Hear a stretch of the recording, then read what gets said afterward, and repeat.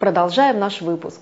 В этом году День России совпал с Троицей, одним из самых главных православных праздников. А в минувшие выходные в Некрасовское всего на несколько часов были привезены мощи святого апостола Андрея Первозванного.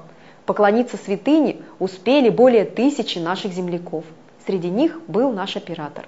Чтобы приложиться к чудотворным мощам, в крупных городах люди выстаивают многочасовые очереди. Некрасовским прихожанам на такие жертвы идти не пришлось. Заветный ковчег был доступен в течение всей божественной литургии в храме «Утоли моя печаль». По евангельскому преданию апостол Андрей был первым, кто внял призыву Христа освободиться от грехов и последовал за Спасителем.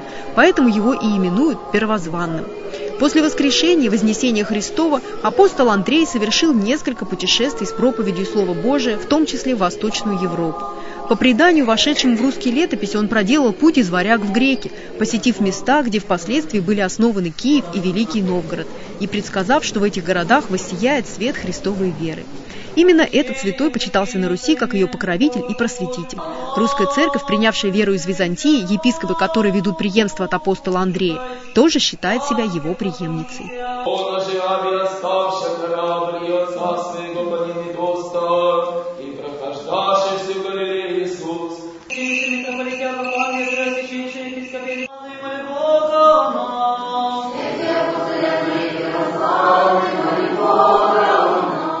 По окончании божественной литургии в храме Утолимая печали мощи были перевезены в храм Рождества Богородицы, где состоялся молебен, во время которого прихожане также смогли приложиться к святыне.